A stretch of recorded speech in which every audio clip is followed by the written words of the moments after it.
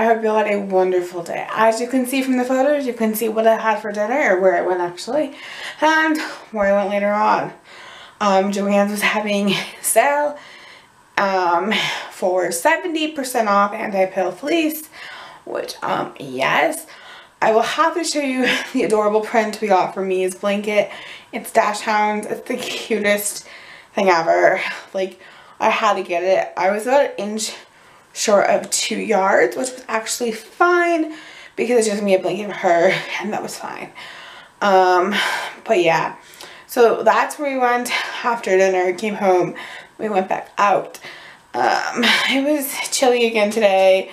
I think it may start warming up, but I guess like a year ago today it was 80 degrees. Seriously. Um, yeah, I don't know anyone who's not annoyed by this weather. It was snowing on and off today as well. So that tells you how cold it was. Um, but it was a really good day in all. Um, I'm hoping I can get some sleep tonight. I've been going to bed way too late and it's already way too late for me. Ugh. I need to crack this. This is not good. But yeah, I hope you all had a great day and I'll see you guys tomorrow. So good night.